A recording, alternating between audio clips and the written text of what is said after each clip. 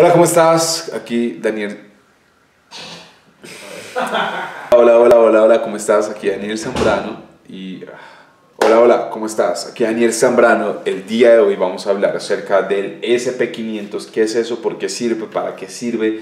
¿Por qué es tan importante? Porque siempre lo mencionan en esa cuestión de YouTube de que se invierte en el SP500, que es el SP500.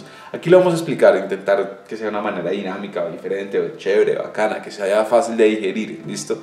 En el anterior video hablamos acerca de que hay índices en muchos... eh, hay índices que muestran la economía de un país. El índice más importante es el, el que representa la economía de Estados Unidos, que se llama SP500. Ese es como el término, o sea, como, ¿cómo te lo digo? Es en donde tú te comparas contra ese- a esa persona. O sea, por ejemplo, pon atención. Es un punto de comparación muy, pero muy, muy, muy básico. Ejemplo, Usain Bolt. El- la marca récord de correr 100 metros planos es de Usain Bolt, que es de 9 punto y pico de segundos. Ese es el estándar. El SP500 es el estándar. Es cuando tú te comparas y dices, ¿lo estoy haciendo bien? ¿Estoy acercándome o, o no? Estoy mal, tengo que mejorar. Es el SP500, es, te da ese estándar de rendimiento anual para que sepas que lo estoy haciendo bien, más o menos, tengo que mejorar.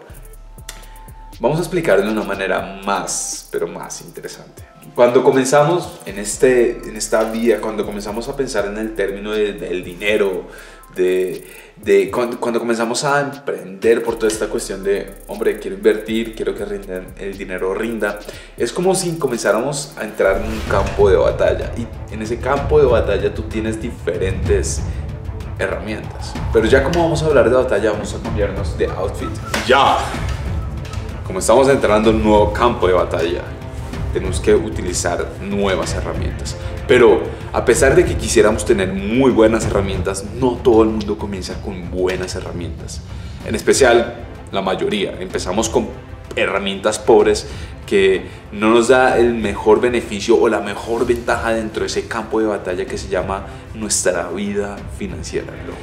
La primera, o sea, el común denominador, la primera herramienta, la primera arma de batalla, la primera, o sea, sí, la primera arma que nosotros tenemos usualmente, no sé si te identificarás conmigo, es esta.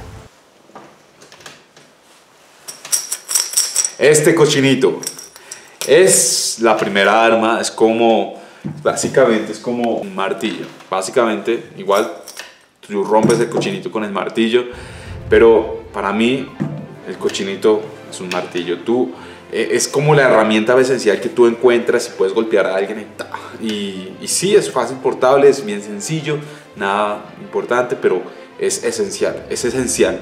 Eh, sí, es esencial. Tú lo puedes cargar por todo lado, puedes generar un buen daño, mm, pero pues, eh, y puedes hacer pues gran maravillas con esto. Sí, es un martillo, es la base de todo. Imagínate.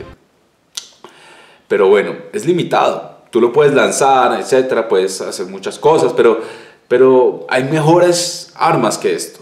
Y muchas veces muchas personas se quedan con el colchinito y no evolucionan. Obviamente es fundamental, es esencial, pero no es la única herramienta.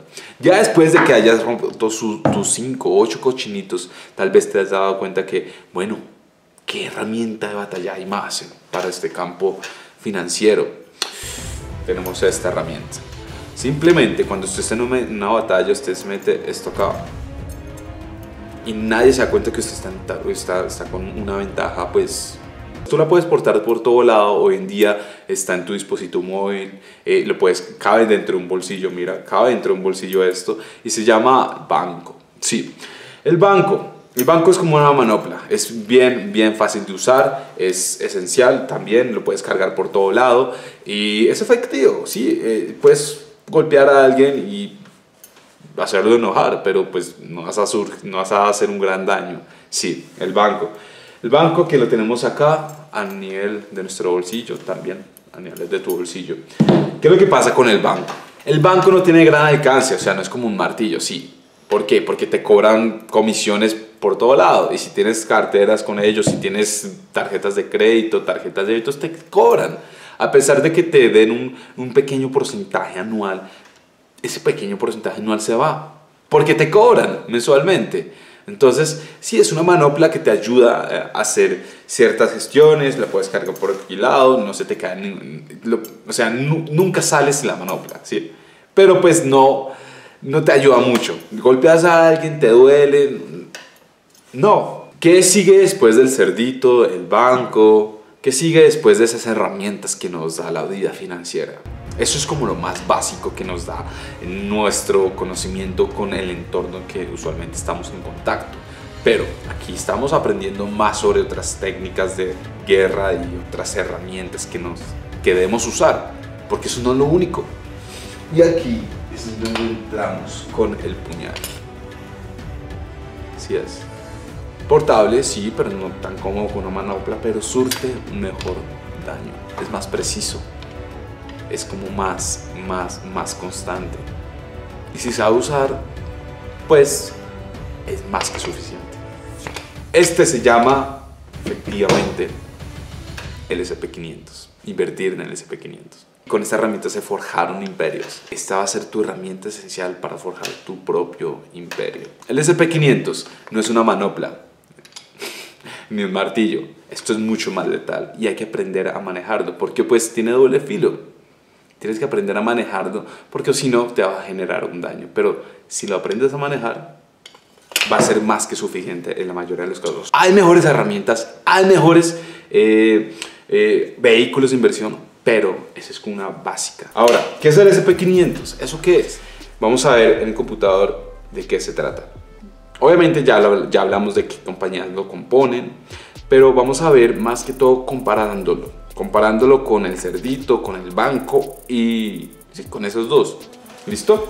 Eh, en pantalla estás viendo el SP500. El SP500 en un periodo de un año, es decir, desde julio del 2018 hasta julio del 2019. Entonces, ¿qué es lo que pasa con el SP500 y por qué es un arma de doble filo? Porque si no la sabemos manejar, ocurre lo que pasa acá. En esta sección pasa mucho que las personas se ven perjudicadas por el SP500 porque venden, venden y el SP500 los ataca con su doble filo. Perdieron ahí. Si venden, hay que aprender a saber cómo manejar el SP500 porque no es como un banco que lo vamos a ver acá. Vamos a decir que el banco es como un bono, tal vez, ¿sí? No vamos a ser exactos. Simplificar las cosas para que entendamos el punto. Entonces, pon atención el bono, que puede decir nuestra herramienta del banco, es la línea eh, naranja. La línea naranja es más constante que el SP500. Y mira, no la dio mal, para nada. O sea, es constante, sólido, útil, como la aplicación del banco.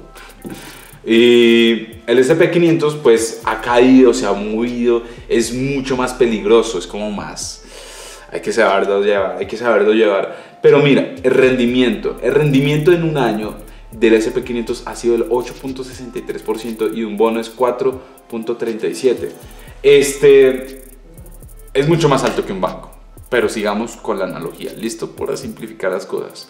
Entonces, tú dices, bueno, ok, eh, no está nada mal invertir en esto, en, la línea naranja, que puede ser nuestra analogía es el banco, pero realmente es un bono.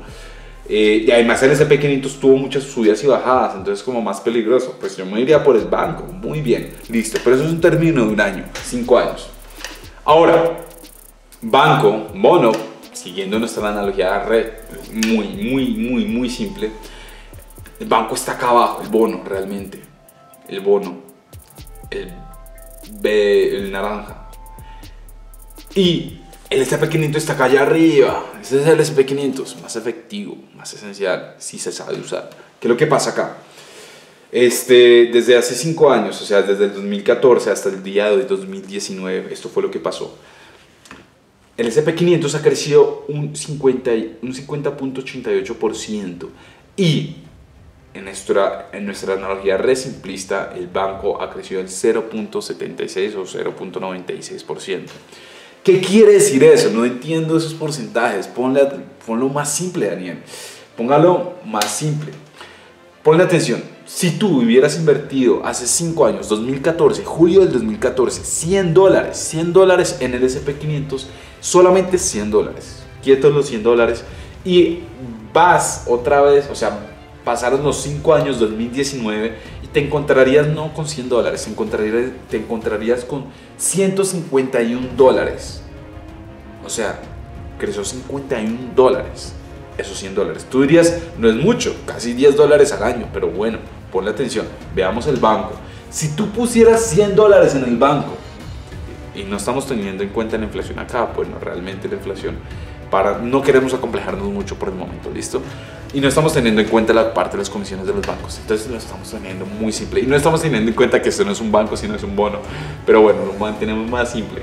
Entonces si tú pones 100 dólares en este bono, en este banco, por así decirlo, Pasan 5 años, 2014, 2019, te encontrarías que no tienes 100 dólares, sino que tendrías, bueno, menos de 101 dólares, tendrías 100 dólares con 76 centavos. 5 años y no conseguiste un dólar eh, para aprender más de sobre, sobre, estos, sobre inversión, para aprender más sobre cómo comenzar a invertir en bolsa, en el CP500. Abajo te dejo un video a una clase gratuita, le haces clic, te registras y listo. Ojalá te guste. Like, subscribe y nos vemos a la próxima. Chao, chao. Vemos a la próxima.